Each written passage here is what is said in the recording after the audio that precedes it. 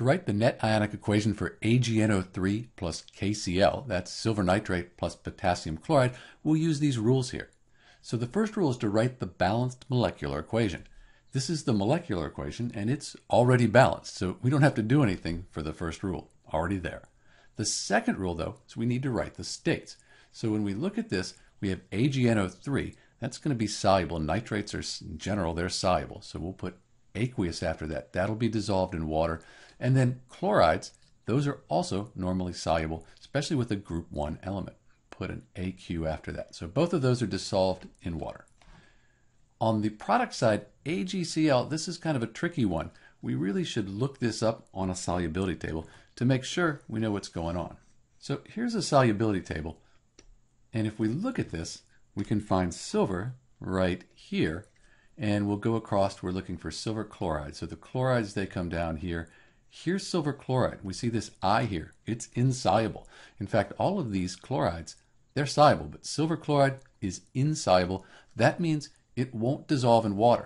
In fact, when this reaction happens and it creates the silver chloride, it is a solid. It'll fall to the bottom like a precipitate. So we're going to put a S after that to show that it's insoluble, that it's a solid. While we have our table here, let's look at potassium nitrate. If we come down the positive ions, here's potassium, and then nitrate right here. So we go down where they line up. We see that S, that's soluble. It'll dissolve, so we write AQ after it. So those are the states. Next, we're going to split the soluble compounds, only the soluble compounds, into the ions. This will be our complete ionic equation.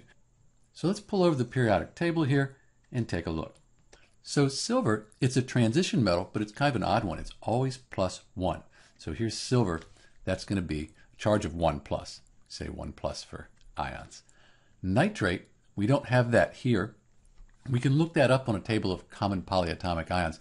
Nitrate is going to have a 1 minus ionic charge. So if you don't know the nitrate, that's probably a good one to memorize. Potassium here in group 1, that's got the 1 plus. The chloride ion, Cl, over here, that's got the minus charge. And then we know we said this was plus, minus, plus, and then the nitrate is minus. So we have our charges, and that's going to allow us to split this up into its ions. So let's do that. We got silver, Ag plus, and I won't write aqueous after each one. We'll do that at the end.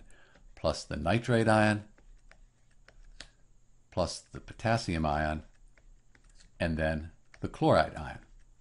Let's shrink this down a little bit.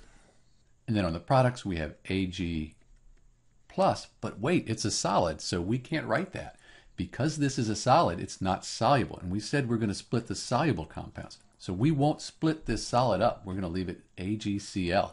And in fact, it's sitting right there at the bottom of the test tube, a solid. It's not broken up. And then we do have our soluble K plus plus the nitrate NO3 minus. Shrink that down a little bit too. So now we have our complete ionic equation. All the soluble compounds, they're split up into their ions, and then the insoluble we left as they were. We'll now cross out what's called the spectator ions. These are ions that appear on both sides of the equation. For example, NO3 minus here, NO3 minus here. We'll Cross those out. Those are spectator ions.